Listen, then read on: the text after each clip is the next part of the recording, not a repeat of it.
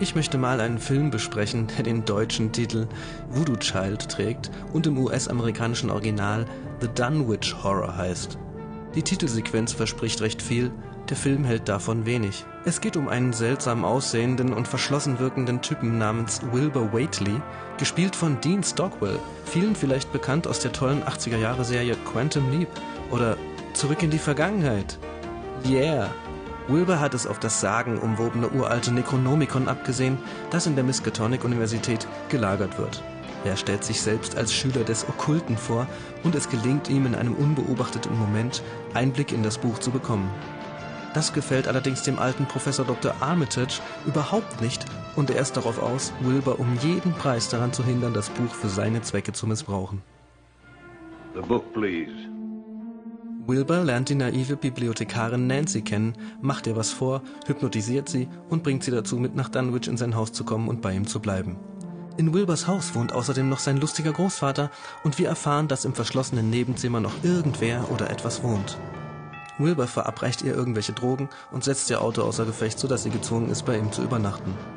In der Nacht träumt sie so richtig kranke Scheiße von einer Bande von bemalten, grimassenschneidenden, tanzenden, kopulierenden Hippies, die sie verfolgt, und am Morgen ist ihr nicht klar, ob sie es geträumt hat oder ob es tatsächlich passiert ist.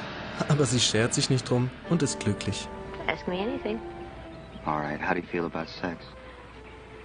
I think it's great. Okay. Dr. Armitage und eine Freundin machen sich Sorgen um Nancy, suchen die Waitley Farm auf aber sie ist wie ausgewechselt und möchte unbedingt bei Wilbur bleiben. Wir erfahren, dass Wilburs Urgroßvater schon Riten in den Bergen von Dunwich abgehalten hat, Jungfrauen geopfert hat und dafür von den Dorfbewohnern gehängt wurde.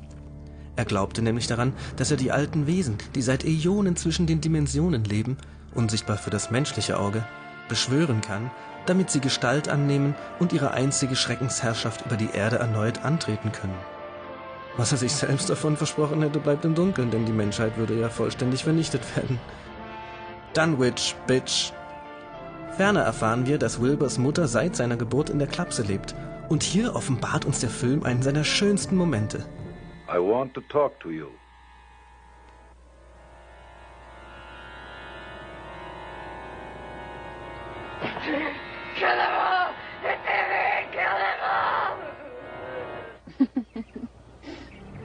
Grandios. Endlich gelingt es Wilbur, Nancy auf dem Opferstein flachzulegen.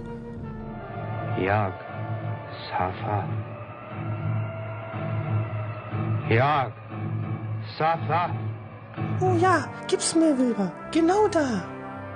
Ach, mit Tattoos kriegt man die Damen rum. Inzwischen kommt Nancy's Freundin auf der Wakely Farm an, fest entschlossen, sie da rauszuholen. Now get off my land!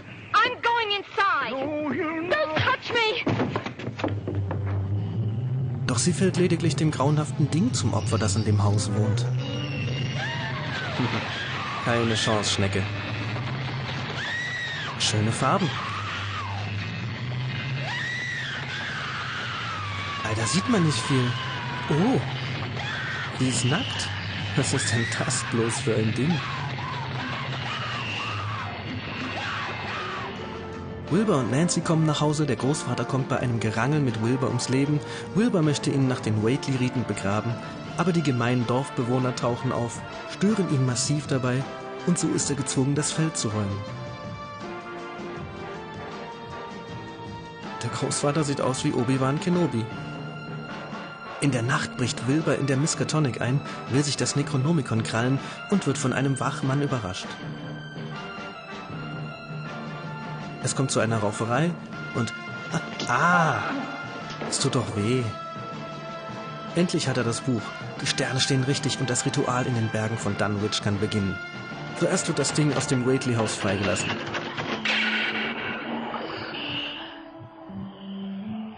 Es ist nicht wirklich sichtbar, aber hinterlässt eine schöne Feuerspur dort, wo es lang kriecht. Und wieder die schönen Farbumkehrungen. Windmaschine. Die großen Alten werden gerufen. Jörg! Safa! Endlich geht die Party los. Das Ding wütet in der Gegend herum und macht eine Nachbarfarm platt. Inzwischen ist auch Dr. Armitage auf dem Weg nach Dunwich, um sich das Necronomicon zurückzuholen. Dort trifft er auf die aufgewühlten Dorfbewohner, die Wilbur töten wollen. Er macht ihnen klar, dass es nicht Wilbur war, der ihre Nachbarn getötet hat, aber dass sie ihn brauchen, um das Ding aufzuhalten, das weiter unsichtbar durchs Unterholz kriecht und im Begriff ist, sich ein weiteres Opfer zu holen. Im altbekannten Farbenrausch. Du hast keine Chance gegen das Farbenmonster. Und es wird unscharf. Die Dorfbewohner kommen an der Waitley Farm an und sehen das Ding. Komisch. Ich kann nichts erkennen. Außer dem Wind. Wo ist es denn? Is that? Was ist was? Och Mann. Aber jetzt, zeigt's doch bitte. Oh, Ich hätte es so gern gesehen. Naja, vielleicht sieht man es ja später nochmal. Unterdessen geht die Party in den Bergen weiter.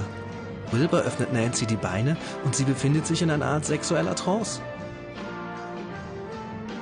Der wütende Mob ist weiter auf dem Vormarsch und stößt auf das schreckliche, unsichtbare Ding.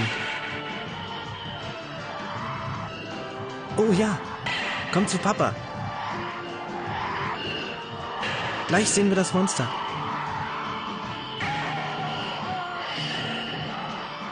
Oh nein. Hilfe! Alle Mann in Deckung! Das Windmonster greift an. Ah! Das tut weh. Das Ding löscht in 0, nix alle Dorfbewohner aus. In den Bergen geht es heiß her. Das Necronomicon liegt jetzt zwischen Nancy's Beinen wie ein literarischer Penis. Dr. Armitage erscheint an der Opferstätte und beginnt sogleich das Ritual zu stören. Kejima!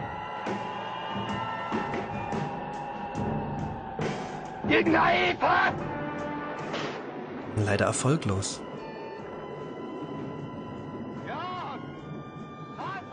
Probiert es ein zweites Mal und siehe da, es funktioniert. Wilbur gerät in einen spastischen Taumel, verdreht ein bisschen die Augen, wird vom Blitz getroffen und geht in Flammen auf.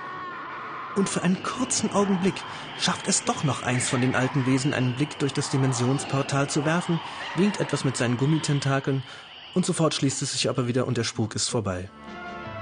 Dr. Armitage erzählt Nancy, dass in der Nacht, als Wilbur zur Welt kam, zwei Kinder geboren wurden. Offiziell sei das andere gestorben, aber es wurde gefangen zwischen dieser Welt und einer anderen. Und der Vater sei nicht von diesem Planeten. War das also sein Zwilling, der am Schluss seinen Rüssel durchs Portal gestreckt hat? Wollte Wilbur nicht die alten Wesen erwecken? Und wer oder was war das Windfarbenmonster? Und wo ist es jetzt? Ist es tot? Zum Schluss gibt's noch einen Cliffhanger. Das war's. Und der Film ist ziemlich schlecht. Die Geschichte ist langatmig erzählt, die Charaktere sind wässrig gezeichnet und die Effekte sind dürftig. Dean Stockwell ist großartig und die Musik ist gut, aber leider hilft das nicht viel. The Dunwich Horror basiert lose auf der gleichnamigen Story von H.P. Lovecraft und genau das ist der Grund, warum ich ihm eine Chance gegeben habe. Für viele gilt der eigenwillige Lovecraft-Stoff um den Cthulhu-Mythos als unverfilmbar und höchstwahrscheinlich haben sie recht. Ich muss sagen, es gibt aber auch noch ein paar sehr gute Lovecraft-Verfilmungen. Aber Finger weg von dieser. Lest auf jeden Fall die Story.